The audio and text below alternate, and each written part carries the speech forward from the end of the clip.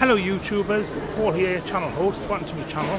Well, um, me and one of my friends, Lauren, is just over there by the lifts. Um, there she is with the handbag on over there, just on her phone there.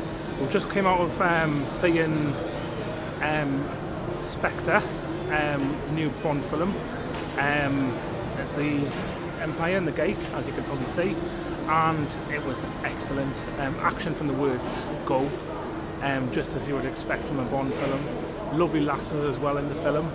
Um, follows on from the other Daniel Craig films. Um, really good, and I'm looking forward to the next one, hopefully with Daniel Craig. And I'll see you later, YouTubers.